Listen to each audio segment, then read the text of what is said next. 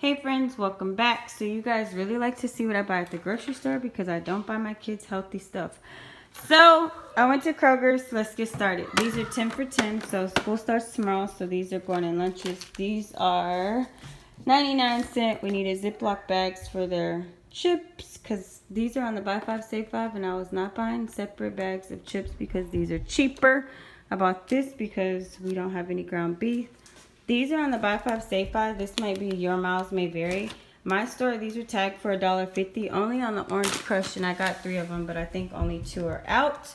But they did ring up $3.99, so I did have to go to customer service, and they reimbursed me. But $1.50 is a good deal.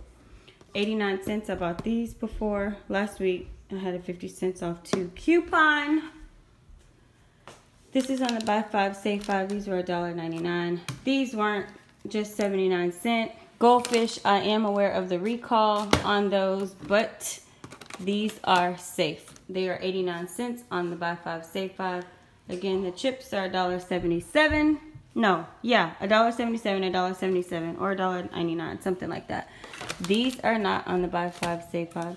I did actually have a lot of coupons today, by the way, though. These were $1.99. Oh, here's my other third crush.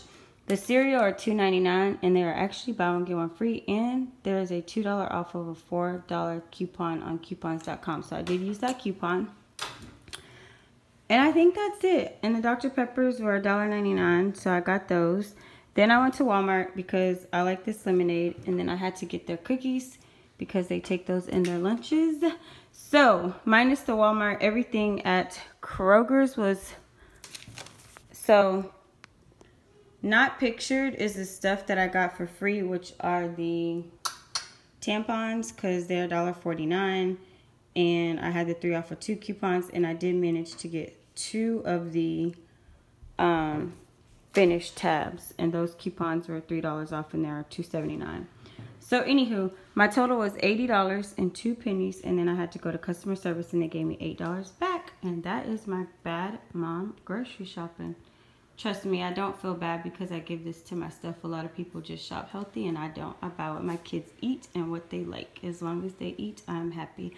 All right, that is it. I'm tired. I had a full day and I'm about to get ready for school tomorrow. Thank you so much for watching. I love you tuning back and I'll see you in the next video. Bye.